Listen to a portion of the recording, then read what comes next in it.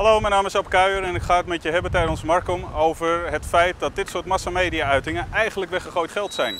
Alles over nieuwe sociale media, oude gezonde logica en de nieuwe digitale uitstoot. Daar ga ik het met je over hebben tijdens Markom. Het gaat vandaag de dag niet meer over massa bereiken en zoveel mogelijk geld en energie steken in het werven van nieuwe klanten, maar om de service die je geeft aan je bestaande klanten.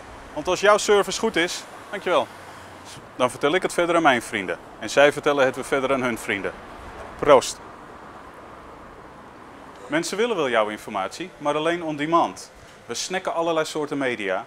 En op het moment dat iemand hongerig is naar jouw informatie, moet je ervoor zorgen dat jouw informatie overal en altijd beschikbaar is. Bijvoorbeeld op een mobieltje. Think Small, Grow Big gaat over aandacht geven aan iedere klant, hoe klein ze ook zijn. Op die manier bouw je aan je virtuele reputatie en ben je klaar voor de volgende generatie. Ik zie je graag op 15 en 16 juni op Markom in de Rai in Amsterdam.